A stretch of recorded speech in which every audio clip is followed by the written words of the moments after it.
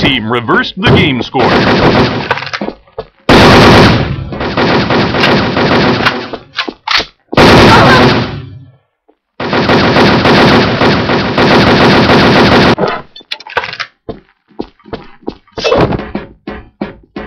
Blue